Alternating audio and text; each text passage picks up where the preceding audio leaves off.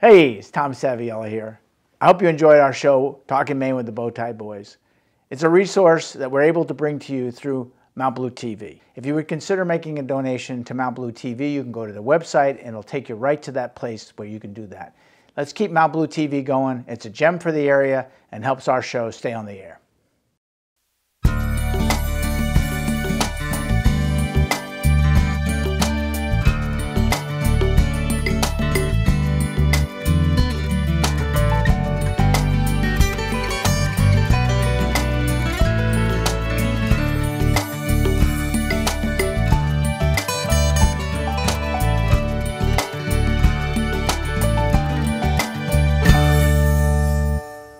Welcome to Talking Maine with a Bowtie Boy. Ruby just reminded me that the opening says boy, but actually it's boys because we got Chandler Woodcock probably off chasing white lions. I don't know where he is, but he'll come on the show. I'm convinced after the first of the year. But I want to have my friend Ruby. Ruby. Hi, Tom. Rubin, having you come back, uh, talk a little bit about white lions, but so we can refresh our audience's memory. Mm -hmm. Tell us about you and how you got involved in this, because I think that really connects directly to the uh, animals we're going to talk about it today. It does, it does. Well, I was, um, I, I love animals, and I was listening to a webinar from this woman, um, Linda Tucker, and she was talking about her white lion experience and her involvement. And I knew before the webinar was over, I was going to go to South Africa and spend some time with her. And I just, I really like taking care of or thinking of that I make a difference in the welfare of animals that we want our children and grandchildren to, to see someday rather than for them to be extinct. Now, so from that, you actually ended up taking a class, if I remember mm-hmm. correctly, mm -hmm. that caused you to travel around to some of the other things. Tell us a little mm -hmm. bit about the mm-hmm. class that you were involved the in. The class was, um, it, it, was out in California. It was online as well. Um, Communication with All Life University is the name of the university, and it's now becoming accredited, uh, taught in schools as well. And it's really taking all different aspects of animal life and the animal kingdom and wow. getting involved with it somehow. Wow. So you, you were actually studying life cycles of different animals or? Uh, just what's happening with the plight of animals around the world and communicating with animals and, and um, we had to do certain side things like I did T-touch, which is a way of touching an animal to calm them down if they're afraid of thunder or fireworks and different ways you can, can handle an animal, like Henry. Yeah, uh, well, you just woke up. He's going to come to visit us now. Henry. Henry, hi, buddy. Go lay down. Go on. lay down. He's, he's a character. He's my buddy, though. He's my good buddy. So, so White Lions, did you take the class before you went to visit, or did you just decide, no, I got to do this? I joined the class while I was in South Africa. Oh, wow. I joined, I signed up while I was there.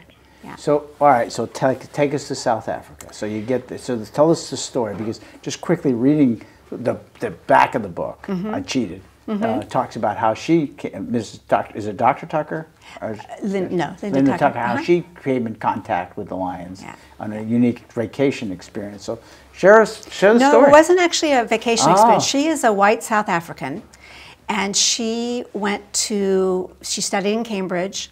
She had a very, very uh, successful uh, career in London. She went back home for a visit, and in her 20s, she and her friends were out on a Jeep on the savannah, just hooting and hollering and drinking a beer or two, and their Jeep broke down. And a couple of them went, Oh, how much time do we have on our light? Where are we? And a couple of them went to get help. She stayed in the Jeep.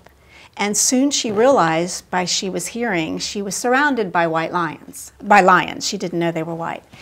And she's like, what am I going to do here? Am I meat? You know, am I yeah, am I dinner? dinner? Am I dinner or dessert? and so all of a sudden she saw this figure walk right through the circle of the White Lions. It was Maria, and she's a medicine woman there. Barefoot, she had wrapped around, she had a baby on her back, and, and she came and sat next to Linda and said, They've chosen you to be their guardian. Wow. And she said she quit her job in London, moved back to South Africa, and started learning all she could about the wow. plight of them. In the 80s, there were like just a, maybe two white lions left because in South Africa, it's legal to trophy hunt. And white lions were known for, you know, they would raise them for trophy hunting. And they'd put them in a cage about a, as big as a studio and then shoot them. Shoot them. Oh my goodness. Men so would come, even, you know. So they didn't even have a fair game hunt on them. No. Oh wow. No. So she learned all about the history of the white lions, and they belonged in the Timbavati area, which is near Kruger National Park in South Africa. It's the northern part of Kruger.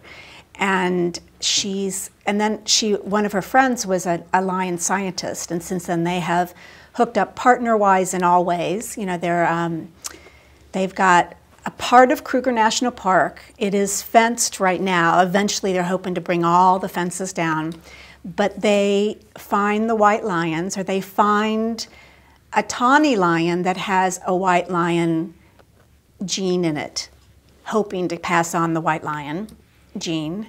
And now there are about, I don't know, maybe a dozen of them now. So talk the about the white lion a little bit. Where, how did it, did it, where is it in its evolution? How did it come about the best that you know? I think white lions are the first, probably one of the first From her account in the world. You know, this is where our animal kingdom began in, wow. in her reference. And they belong there. Now, there are about 300 white lions in zoos.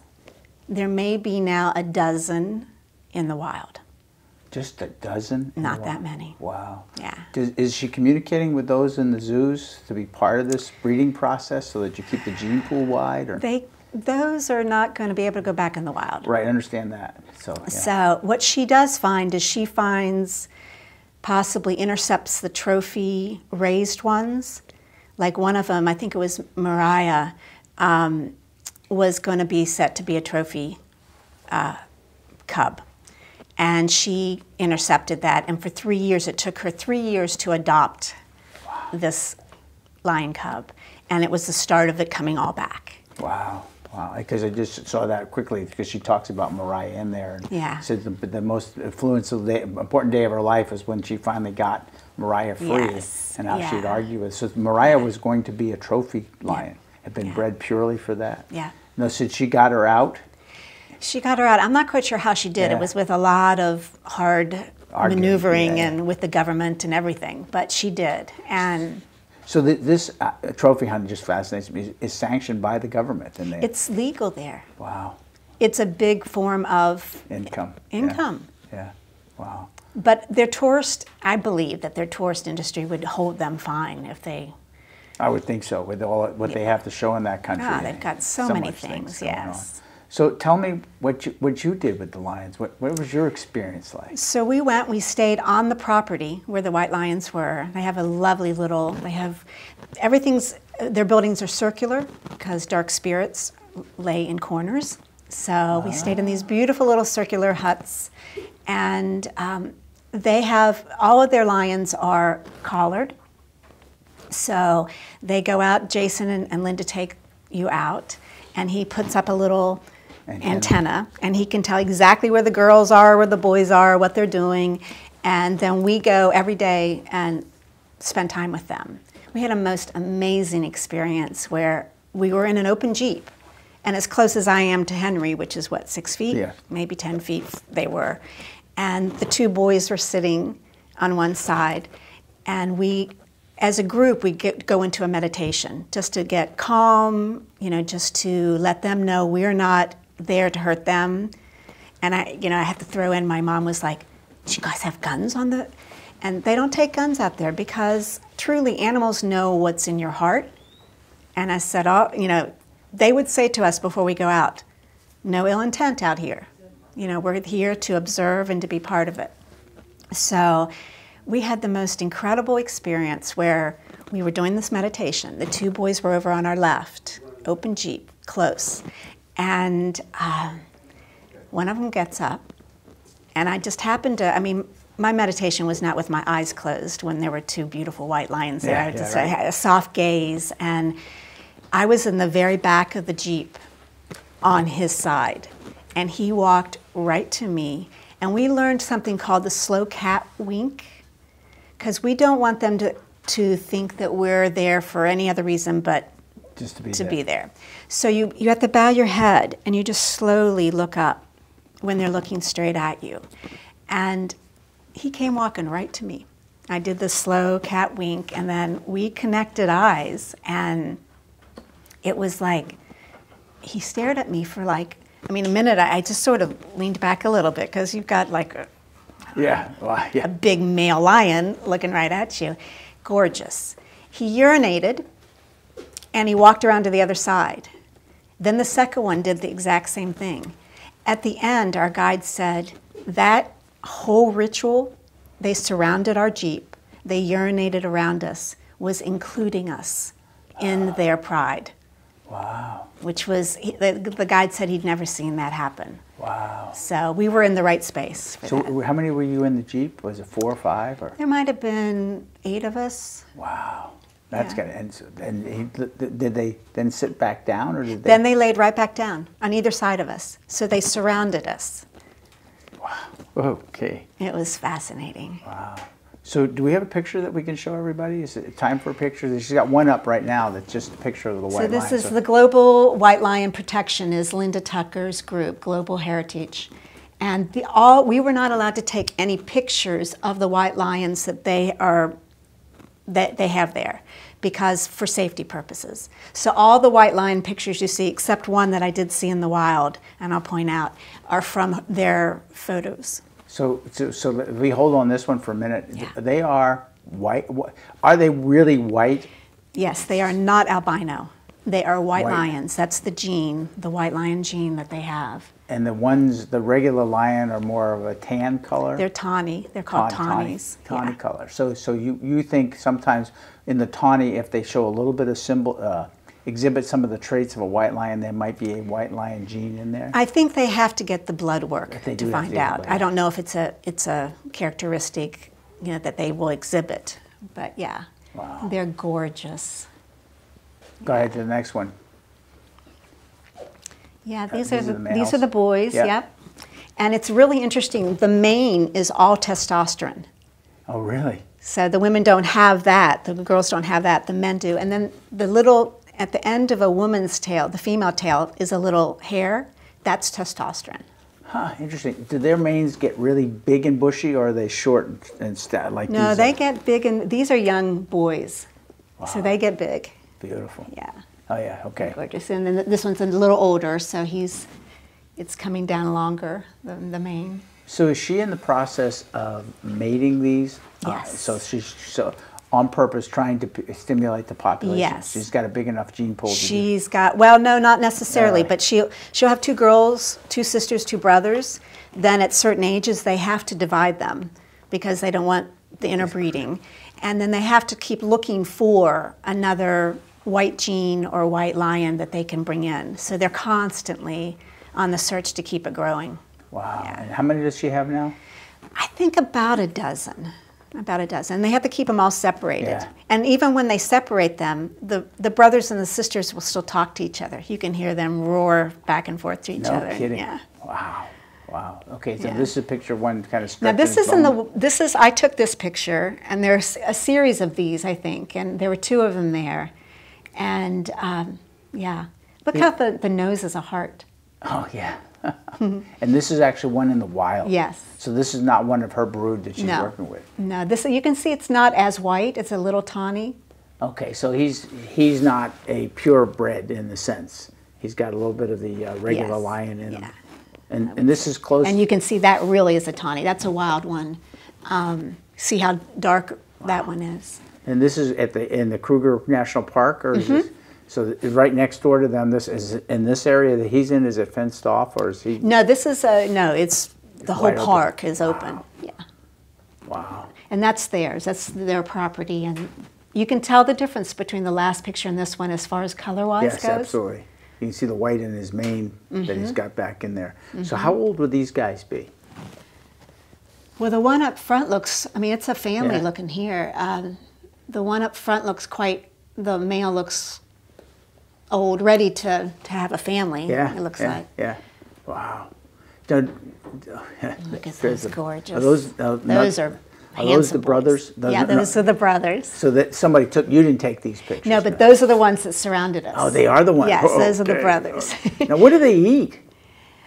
When they bring them here, it's amazing what they've done. They have them in different areas that they introduce them to their new surroundings, and then they eventually open up another to another area. But they pull a whole curtain across so they don't see a human feeding them, and they will throw them huge carcasses of something over, and then they wait for a period of time when they should start to be hunting to see if they're able to hunt themselves. So they'll slowly wean that off. Then they bring in like a whole truckload of wildebeest, wildebeest, the and guys. then those are one of the easiest ones for them to catch. And and it's interesting to see how the parents teach the young ones to to hunt, and how the young ones are sloppy at first. And then a, a very sad story about I think it's it was Mariah. Um, who are the ones that go into the ground? There's um, Like groundhogs or? I know it's bigger than that. I was surprised. I can't think of the name of it. But they, the lions will dig into their tunnel, and they have a signature move called the corkscrew. So they'll dig their in head first, and then they'll flip over to get into that tunnel, to get it out. Um, it's coming. Like a prairie dog or something. um, a warthog. A warthog, Warthog. okay, okay. Warthog. I could see it. Could, the name was escaping me. And then they pull out the warthog, and the warthogs are very dangerous because they've got their little horn. They can really hurt them.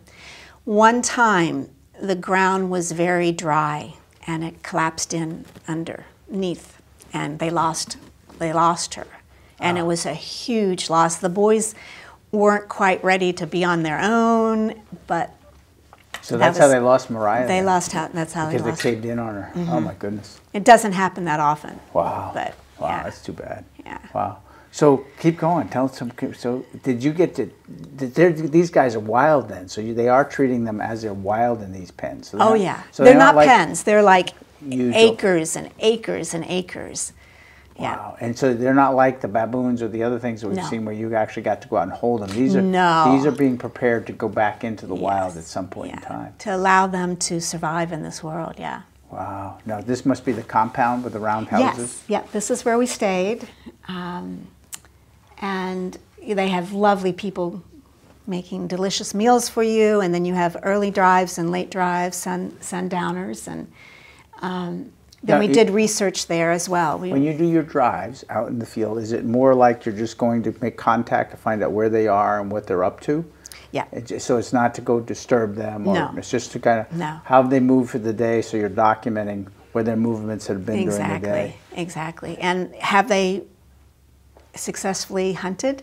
You know, have they not? And they can tell by the, you know, the way they're laying, if they're prowling around, what time of day it is. They can they can tell. So, like in this picture that we're looking at, they look like they're pretty happy and satisfied. Yes, yes. I think one of those probably. And they have different times of day that they hunt. So usually, evening is a good time. You know, because they're white, so they want to be undercover a little bit as far as their color goes. But they're, yeah, that's a happy family there. Now, is it true that the females do all of the hunting, or do the males help out here? Um, both do it, but the females are pretty efficient. Yeah, this is great. This is Jason holding up the um, radar thing, and this is one of the gals I traveled with. It was funny because she had her little orchestra Oh, uh, yeah, yeah, opera glasses. opera yeah. glasses, and I had to take a picture of that. But it's just an open jeep, and we go out, and he's finding out where the lions are that day.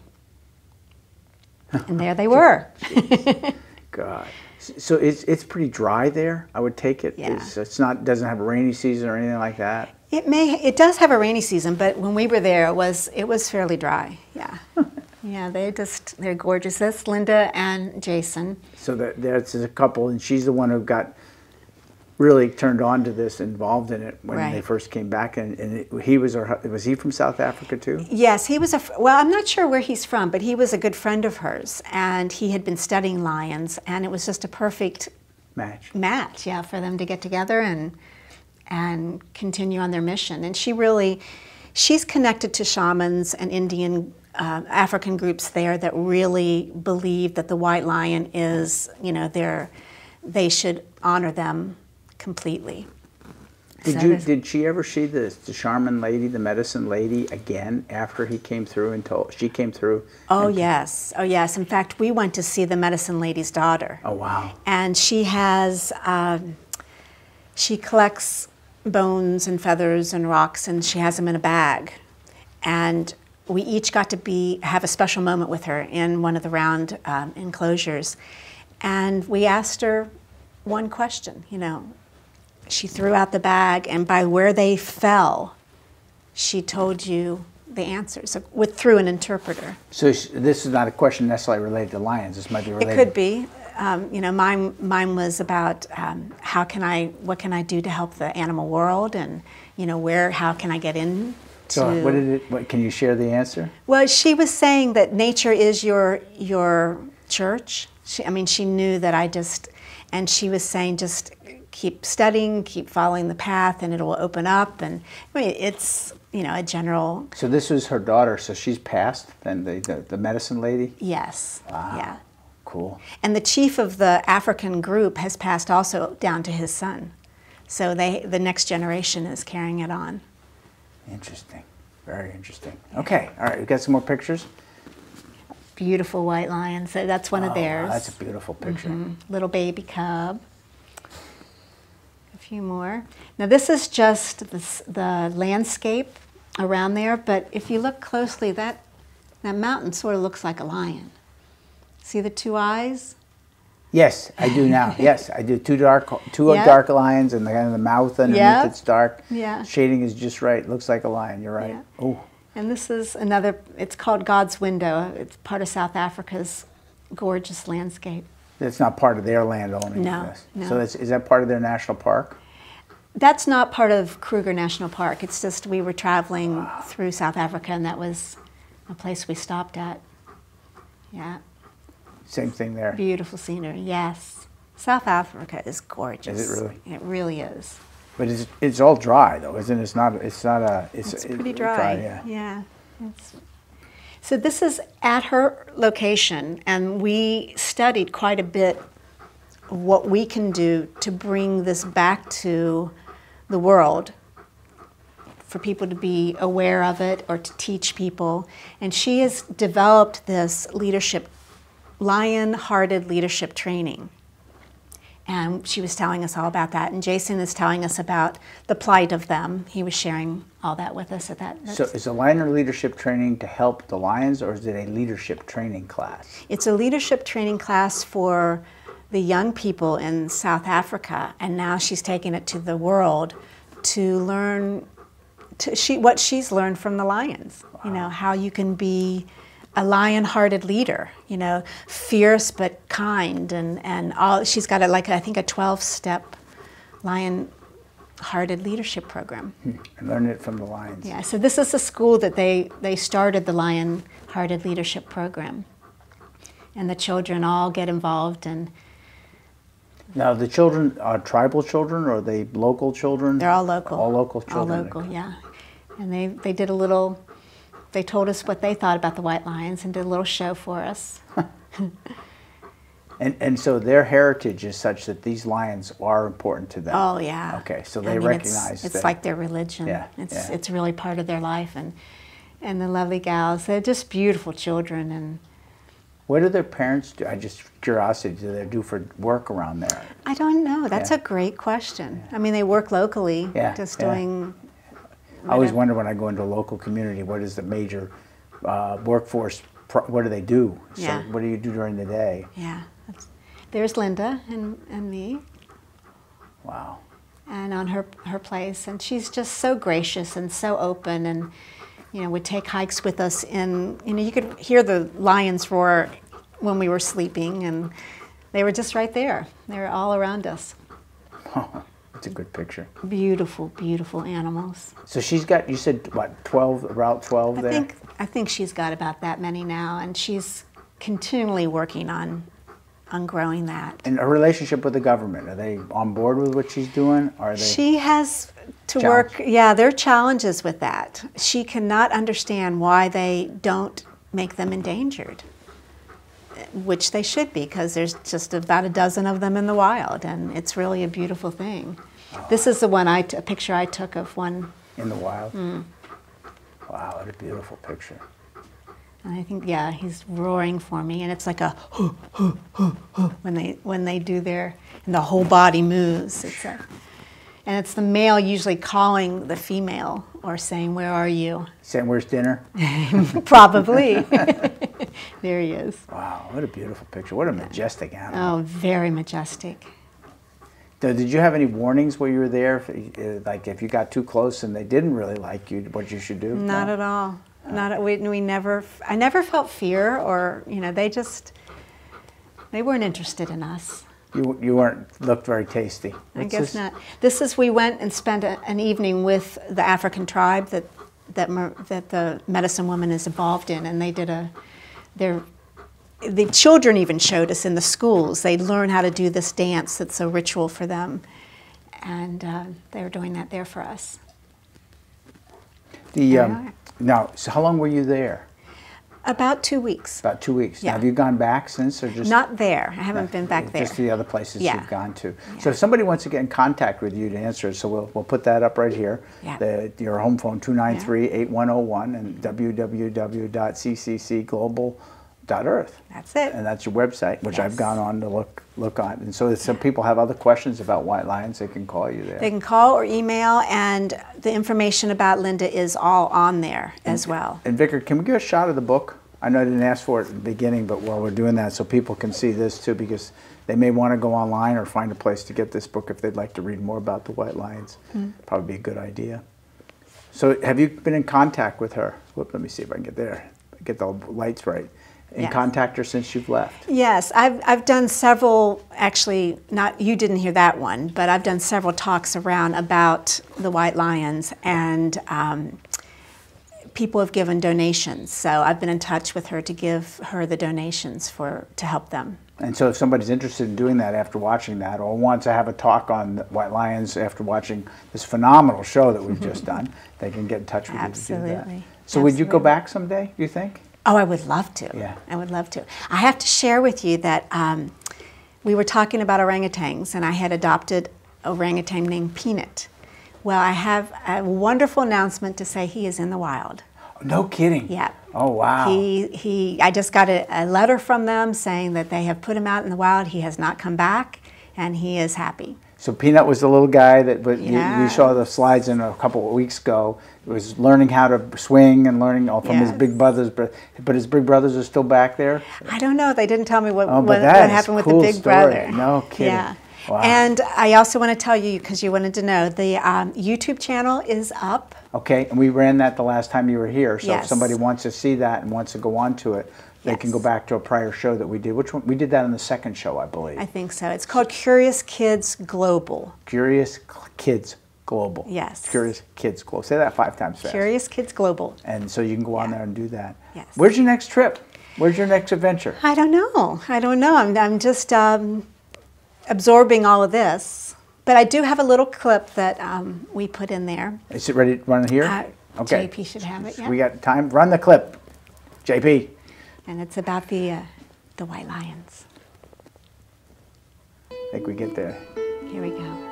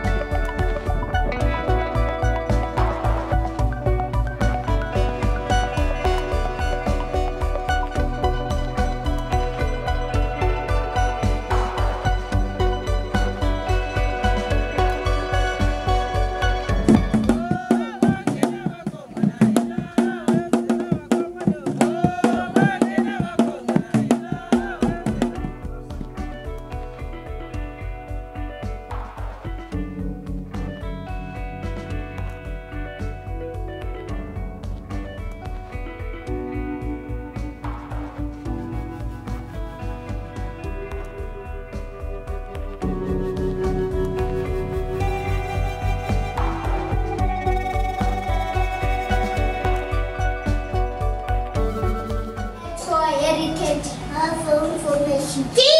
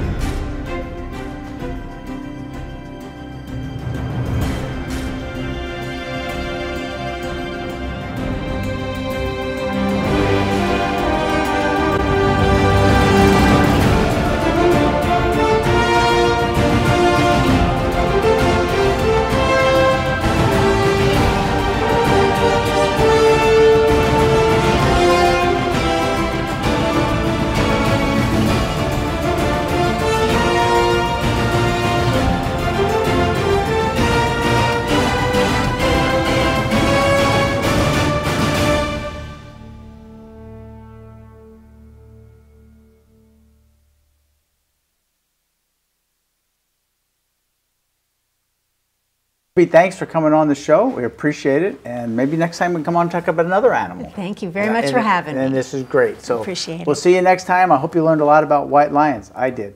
Thank you.